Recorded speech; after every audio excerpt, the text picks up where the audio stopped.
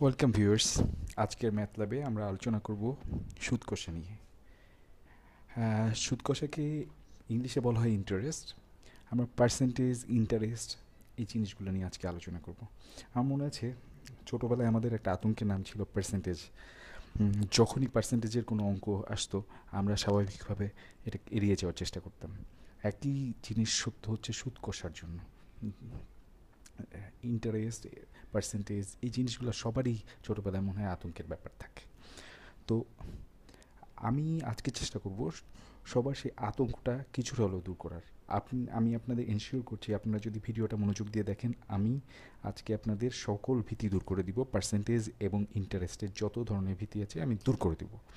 তো আপনারা নিজেরা মনোযোগ দিয়ে দেখবেন এবং যারা আমার ছোটো ভাইরা যারা নাইন টেনে পড়েন বা সেভেন এইটে পড়েন, এই ইন্টারেস্ট বা পার্সেন্টেজ আমাদের মতোই ভয় পাচ্ছেন তাদেরকেও সাজেস্ট যদি ভিডিওগুলো সাজেস্ট করেন তাহলে তারাও এটা দেখে উপকৃত হতে পারে। তো আমি শুরু করছি তাহলে। আজকে শুরুতে আমরা পার্সেন্টেজ জিনিসটা কি সেটা নিয়ে আলোচনা করি। তো দেখুন, আমি পার্সেন্টেজ নিয়ে যখন আলোচনা করছি, আপনাদের একটা জিনিস আমি ক্ল্যারিফাই করে ফেলি।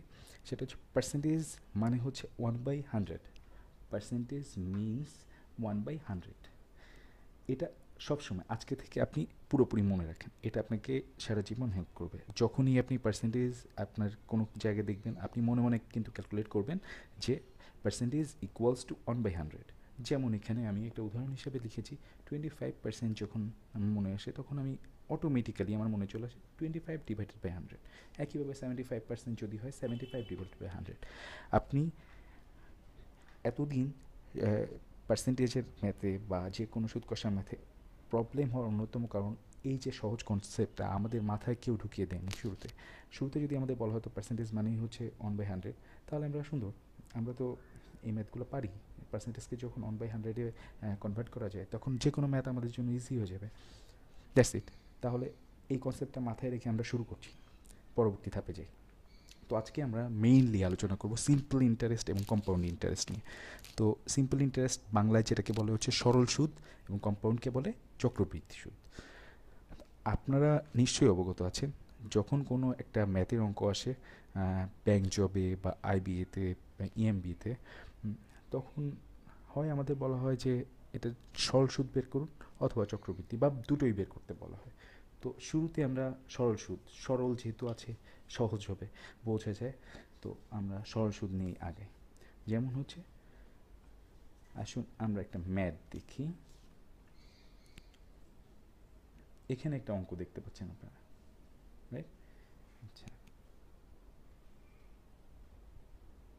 ছয় পার্সেন্ট হারে সুদে এক লক্ষ টাকার।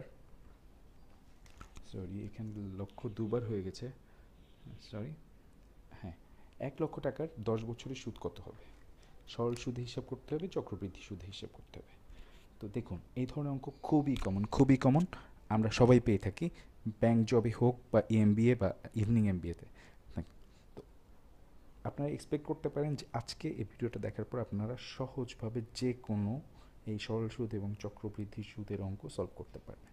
তাহলে আমরা আসি কীভাবে? সরল সুদের সূত্রটা দেখুন। সরল সুদ যেটাকে আমরা বলছি সিম্পল ইন্টারেস্ট সেটার সূত্রটা হচ্ছে এটা। I equals to PNR I মানে তো বুঝতেই পারছেন ইন্টারেস্ট যেটাকে বলে সুদ পি হচ্ছে প্রিন্সিপাল প্রিন্সিপাল মানে কি আসল? আমরা যেটাকে বলি আসল, যে টাকাটা নিয়ে আমরা শুরু করি। অর্থাৎ দেখা যাচ্ছে আমার পকেটে আজকে আছে এক লক্ষ টাকা। সেই এক লক্ষ টাকা আমি ব্যাংকে ইনভেস্ট করতে পারি বা শেয়ার মার্কেটে ইনভেস্ট করতে পারি বা সঞ্চয়পত্র কিনতে পারি। এটা হচ্ছে প্রিন্সিপাল যে টাকাটা নিয়ে আমি শুরু করছি ইনভেস্ট করার জন্য যে টাকাটা আমার হাতে তৈরি। এন এখানে এন হচ্ছে নাম্বার অফ ইয়ার্স অর্থাৎ কয় বছরের জন্য আমি টাকাটা রাখব? বা ইনভেস্ট করব। সেটা হচ্ছে আমার এন এবং আর হচ্ছে সরি অ্যান্ড আর হচ্ছে রেট অফ ইন্টারেস্ট প্রতি বছর আমি কতটুকু ইন্টারেস্ট পাচ্ছি? অর্থাৎ আমি যে জিনিসটা ইনভেস্ট করলাম, আমাকে তো একটা রিটার্ন দিবে। সেই রিটার্নটা আমি প্রতি বছর কী হারে পাচ্ছি? প্রতি বছরের রেটটা কিন্তু এখানে আসবে। খেয়াল রাখতে হবে, প্রতি বছরের রেট যেন হয়। তো সুন্দর, তাহলে আমরা এই সূত্রটা মনে রাখব আই সমান পি এন আর ওকে? তাহলে আমরা অগ্রসর হই। আমরা যে ম্যাথটা নিয়ে এসেছিলাম, সেই ম্যাথটা আমরা আবার ফিরে আনছি। এবার দেখুন তো, এই সূত্র থেকে সলভ করতে পারেন কিনা। সিক্স পার্সেন্ট হারে সুদে এক লক্ষ টাকার দশ বছরের সুদ কত হবে? তো সুন্দর, এক্ষেত্রে আমার আমার প্রিন্সিপাল কি হবে বলুন তো? এক্ষেত্রে আমার প্রিন্সিপাল হবে P equals to one lakh right P equals to one lakh কেন P equals to one lakh কারণ এইটা হচ্ছে আমার যে টাকাটা আমি ইনভেস্ট করব। তো সহজেই বোঝা যাচ্ছে। তাহলে নেক্সট আসে যেটা যে এন কত সময়ের জন্য আমি এটা ইনভেস্ট করছি? এন ইকুয়ালস টু এখানে কত হবে? দশ। অর্থাৎ এন ইকুয়ালস টু দশ। ওকে গুড এবার আমরা আসি রেটটা কি? রেটটা এখানে সিক্স পার্সেন্ট হারে বলে। তাহলে সিক্স পার্সেন্ট হারে যেহেতু উল্লেখ করা হয়নি যে এটা মাসে নাকি বছরে, তাহলে আমরা ধরে নিব যে বছরেই সুদ হবে। তাহলে R equals to six percent তাহলে আমার তিনটা জিনিস আমি পেয়ে গেলাম। আর আমি পি পেলাম, আমি এন পেলাম এবং আমি আর পেলাম।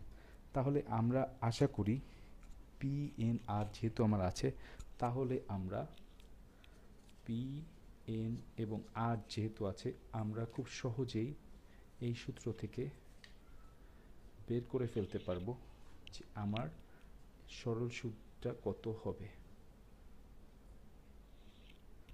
রাইট তাহলে আমরা সূত্রটা নিয়ে অগ্রসর হই এবং আমরা বের করে ফেলি।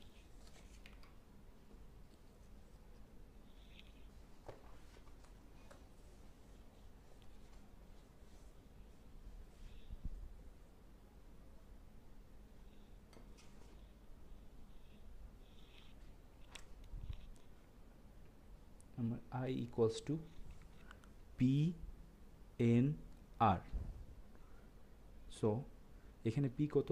পি ইকুয়ালস টু হচ্ছে ওয়ান লাখ ওকে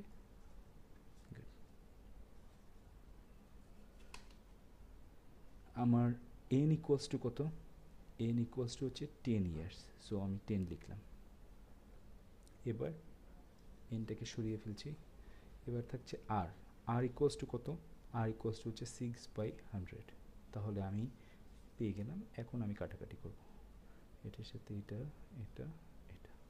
তাহলে এবার নর্মাল গুণ করে দিব সিক্সটি থাউজেন্ড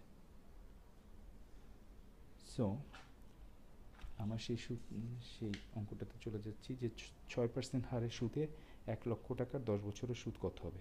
তাহলে প্রথমে আমরা বের করলাম যে সরল সুদ কত হবে? তাহলে এখন সুদ হবে ষাট হাজার টাকা। অর্থাৎ এক লক্ষ টাকার ছয় পার্সেন্ট হারে দশ বছরের সুদ হবে ষাট হাজার টাকা। তাহলে আমরা সরল সুদের অঙ্কটা আশা করি কারও কোনো প্রবলেম থাকবে না এখানে। আমি আশা করছি প্রবলেম থাকবে না। তারপরও যদি প্রবলেম থাকে, আপনারা আমাকে জানাবেন। আমি আরও সুন্দরভাবে ভিডিওটা করে দেওয়ার চেষ্টা করব। আপনাদের বোঝানোর চেষ্টা করব। ওকে। তাহলে ভিউয়ার্স যদি সরল সুদটা বুঝে থাকেন, আমরা এগিয়ে যাচ্ছি চক্রবৃদ্ধি সুদের দিকে। চক্রবৃদ্ধি সুদের হারটা। তাহলে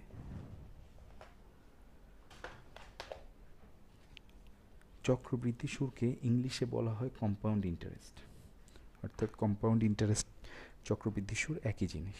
এই সূত্রটা একটু ডিফারেন্ট আগে আমাদের যেখানে ছিল আই সমান পি এন আর এখানে P into one plus R to the N সেই একই জিনিস পি মানে প্রিন্সিপাল আর সমান হচ্ছে অ্যানুয়াল রেট অফ ইন্টারেস্ট এবং এন হচ্ছে নাম্বার অফ ইয়ার্স কত বছরে আমরা আগে থেকেই জানি।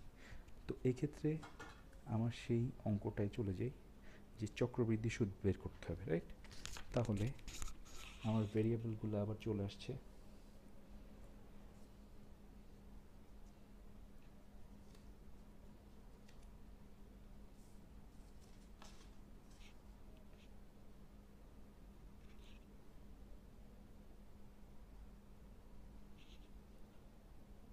আমার তিনটে জিনিস আছে।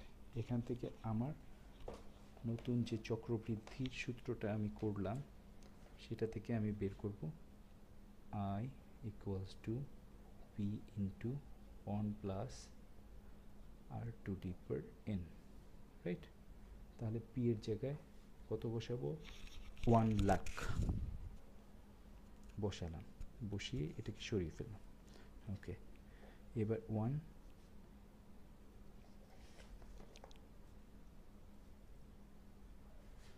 এবার হচ্ছে আর এর জায়গায় বসাবো কত? Six by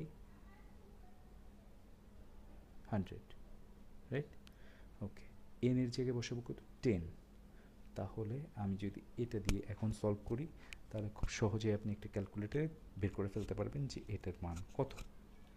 ওকে আমি করছি আপনাদের জন্য।